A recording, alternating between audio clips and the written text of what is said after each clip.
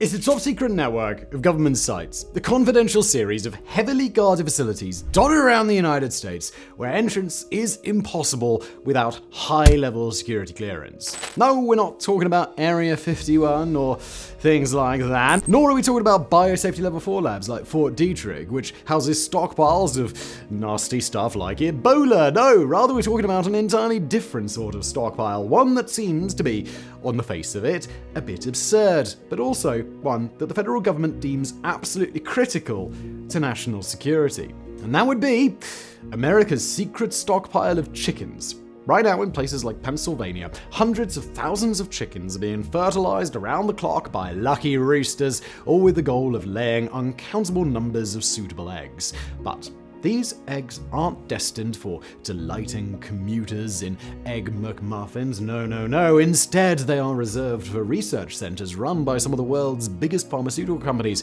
Centers where they will have a single, highly specific goal to fulfill the goal of helping the United States government save the world.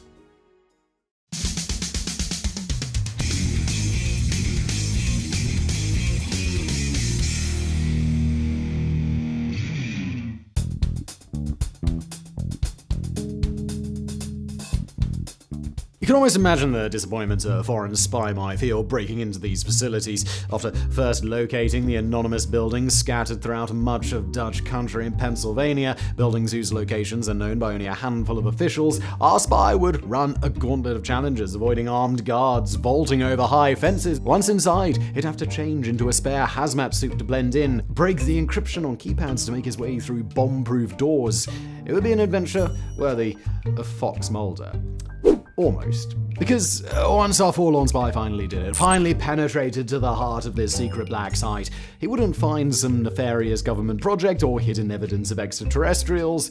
Oh no, what he would find would be lots and lots of chickens. Well, chickens plus a large, large number of eggs. And presumably a bunch of extremely happy roosters sauntering around and mating with all the sexy poultry around them. Beyond that, we can't really say. Details are sketchy, and everything about the insides of these facilities is classified, from the number of chickens to the breed of hen used. Even visitors that have a good reason to be there must be accompanied at all times by minders. Those who work on the site are told not to let their friends know what they are doing. And a reason? Well, these shadowy farms aren't just rearing chickens for food or in the hopes of crossbreeding them uh, with aliens or something like that. Instead, they lie at the very heart of Washington's plans to save us all from the next pandemic. If you're anything like we were when we started researching today's video, you're probably now thinking something along the lines of wait, what? Chickens? Pandemics? It's a big leap, Simon. Come on, fill me in, mate. But it turns out that in the case of a deadly flu pandemic, a vast stockpile of chickens is exactly what you need. That's because the most common types of flu vaccine are developed inside hen eggs. If bird flu does decide to one up COVID and make the leap to humans, it will be from giant government farms like this that our salvation eventually comes. Now, we'll be getting a bit deeper into the science around making vaccines from eggs in a couple of chapters' time. But first, though, let's get to know these secret farms a little better, starting with the most obvious question of all where the heck did they come from? And to answer that, oh, we need to jump in our handy TARDIS and travel back in time to a year that won't exactly be heading many historians' lists of greatest years of all time. That would be 2001. That fall, America was hit by the double whammy of 9 11, followed by a spate of anthrax mailings that killed just five people but put the entire nation on edge. Then, just as this heightened fear of deadly diseases was cranking everyone's anxiety right on up, bird flu came along and, well, turned it all the way up to 11. That year, avian flu began sweeping through bird populations, looking for all the world like it might soon jump to humans and cause the first major pandemic in decades. When the government tried to check just how prepared the US was, well, they got a bit of a nasty shock. There was a single licensed flu vaccine producer in the United States. Worse, they had nowhere near enough chickens available to ramp up production at short notice. If 2001 was indeed the year of the next great pandemic, America would be stuck relying on the goodwill of foreign nations to manufacture and ship the vaccine. And look, thankfully, as you already know, 2001 was a whole 19 years too early for a pandemic. The bird flu scare came and it went, but the crucial lesson did remain. If the US wanted to insulate itself from the next Spanish flu, it would need to step up its vaccine production capabilities. And that meant spending millions of taxpayer dollars on securing giant flocks of chickens.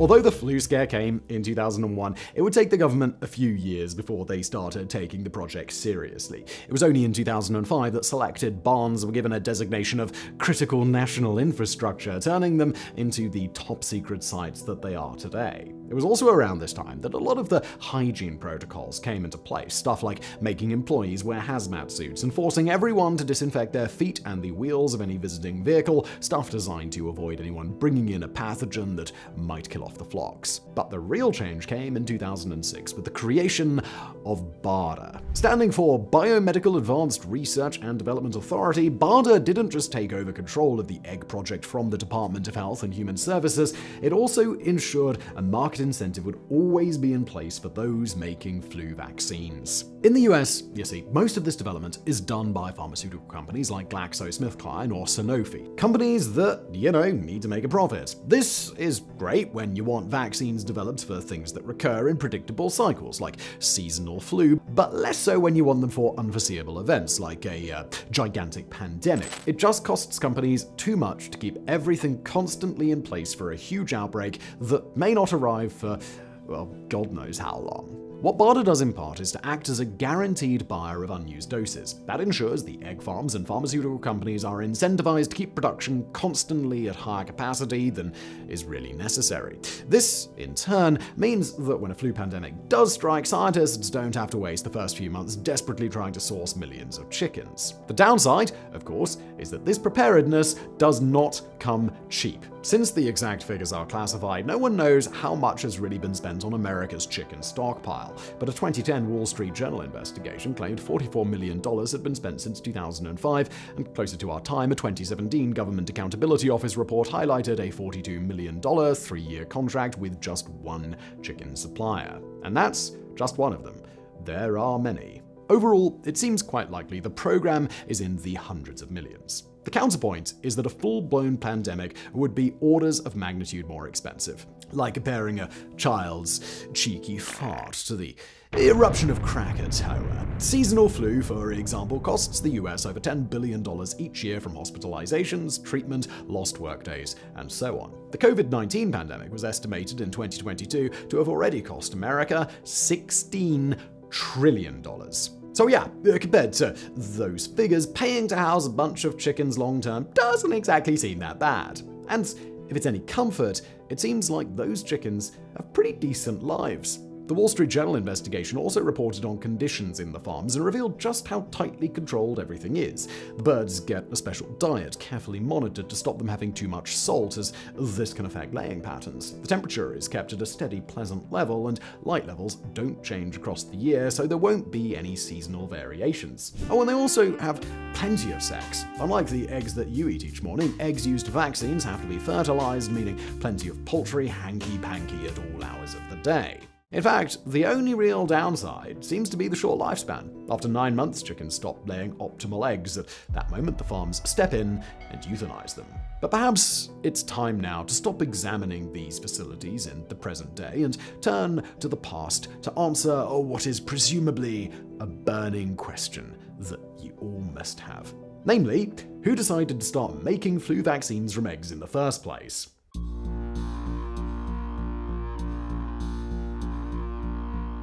Considering how important they are today, chicken eggs entered the flu story pretty late in the game. The name influenza itself dates back to the 15th century, when a mysterious illness in Italy was blamed on the influence of the stars. A poetic, old timey way of saying we have no idea what's going on or what's causing this. Oh, it must be the Lord. Yeah, Old Testament guy. It wasn't until the following century that flu as we know it really made its way into the historical record, because the 16th century has the distinction of playing host to the first known flu pandemic. Interestingly, there's some argument about when it happens. There's a 1557 pandemic that seems to be influenza, but modern scholars think it was actually a different disease. Regardless, Everyone agrees that the one that struck in 1580 was the real deal. At lightning speed, the flu spread across the known world. Untold numbers died, including 8,000 in Rome alone. After that, sporadic, horrifying flu outbreaks became just uh, one of the things that humanity had to deal with. Between 1580 and 1890, somewhere between six and eight influenza pandemics clobbered humanity. But it would be the first pandemic of the 20th century that finally kickstarted progress on a vaccine, a pandemic that also has the distinction of being one of the worst natural disasters to ever befall humanity. We're talking of course, about the Spanish flu. In 1918 and 1919, Spanish flu tore through the world like a vengeful chicken tearing through Colonel Sanders. Between 21 million and 100 million people died. Over a third of the planet's population was infected. Still, there was one upside to all this death. It was the 1918 pandemic that finally made doctors realize that flu was not caused by bacteria, but by a virus and knowing what caused it meant, oh, we could start trying to cure it. It was a long road to the vaccine, far longer than the year or so it took us all to get our COVID shots. It wasn't until 1933 that English scientists at the Medical Research Council finally isolated the influenza A virus. But it was what came two years later that was the real breakthrough. That year, an Australian with the magnificent name Sir Frank Macfarlane Burnet uh, discovered uh, you could take that isolated virus and grow it inside of hen's eggs. That meant you could isolate neutralized antibodies, which in turn meant that you could take a decent crack at making a vaccine. The first flu vaccine doses were administered in 1937, shot into the arms of British soldiers. Just a year later, Jonas Edward Salk led the first trial in the US military. It was the birth of the modern flu vaccine. By the 1940s, governments were administering shots to the general public before winter each year. Of course, though, you can't just infect an egg, suck out the white into some gigantic needle, and then shoot it into the arms of patients. That would be uh, both completely useless and highly dangerous, and it would also certainly lead to a malpractice lawsuit. No, no, no. The proper way to make vaccines from eggs is far more complex and, well, also far more interesting.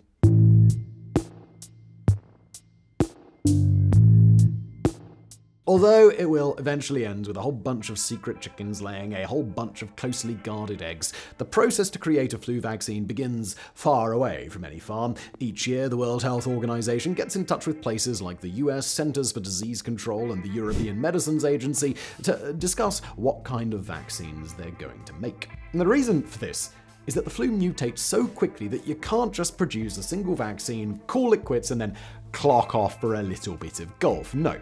Instead, everyone has to work together to identify worrying strains and then send samples to vaccine makers. It's at this point that our feathered friends come in.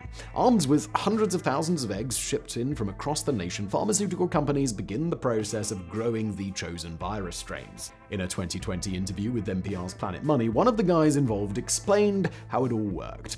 The eggs are placed on a giant conveyor, which carries them beneath a bunch of automated needles, which quickly drop down and inject flu virus inside them. The hole is then sealed, and the eggs are placed in an incubator for around 10 days. This step is vital because it's what allows the virus to grow and start replicating, mimicking what it would do inside a human.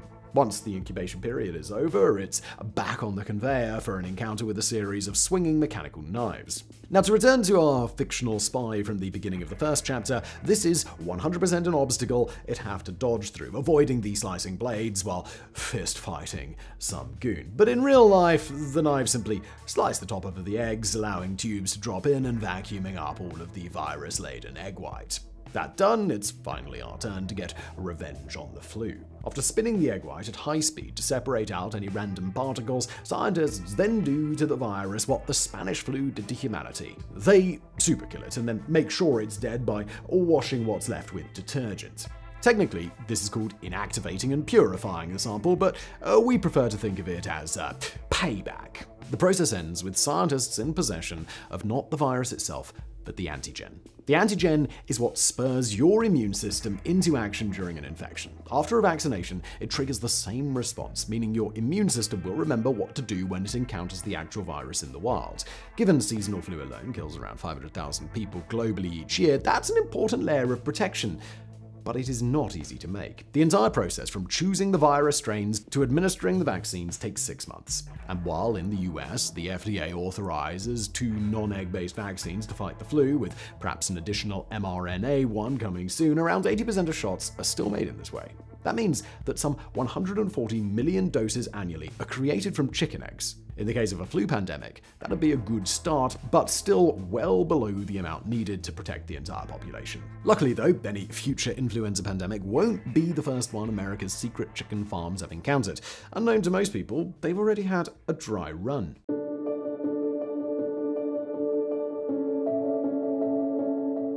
One of the reasons people in early 2020 were pretty confident this whole COVID 19 thing would blow over is because uh, we'd already had several close calls. Aside from the avian flu scare in 2001, there had also been SARS and MERS. Each one, thankfully, was brought under control. But each one also lulled us into a false sense of security. And no case was more worrying, yet ultimately underwhelming, than that of swine flu. Now, if you're above a certain age, you're probably now thinking something like, oh, yeah, swine flu. Forgot about that one. And that's because swine flu blew up in 2009, causing huge panic that this was it. This was the big one, only to turn out to be, well, the great big flop. The virus equivalent of a much hyped album by a beloved band that then falls flat. The Chinese democracy of pandemics, if you will. Behind the scenes, though, swine flu's failure had a huge advantage. It acted as the perfect practice run for mass flu vaccine production. During the 2009 to 2010 flu season, America's vaccine makers were hammering through eggs like a bodybuilder in the pre steroid days. At the height of production, Sanofi was churning through 600,000 eggs a day. GlaxoSmithKline was using 800,000 every 24 hours. This was the production rate BARDA had been planning for when they agreed to buy up unused vaccine doses in 2006. The sort of warp speed process that would keep America safe during a deadly pandemic. Sadly, when the real deadly pandemic hit in 2020, all of that training was for naught. Unlike influenza, coronaviruses can't be grown in eggs, so America's secret chicken farms spent the COVID 19 pandemic feeling as stark and useless as the rest of us. However, this doesn't mean the swine flu experience was a waste, because while coronaviruses were thought pre 2020 to be contenders for a pandemic, they weren't number one on most scientists' list of fears. No, that top spot went to our old friend influenza. And there are already warning signs that another flu pandemic may be on the horizon. After a decade or so defined by plague and war, you might think that the 2020s would be ready to give us a break, but well, no, apparently not. Right now, in the spring of 2023, H5N1 avian influenza is sweeping through global bird populations, killing terrifying numbers of our feathered friends. Since it erupted in late 2020, this animal pandemic is thought to have killed over 150 million birds, and now it's starting to spread to mammals too. Recently, there have been cases of everything from sea lions to bears to dolphins falling ill uh, with H5N1.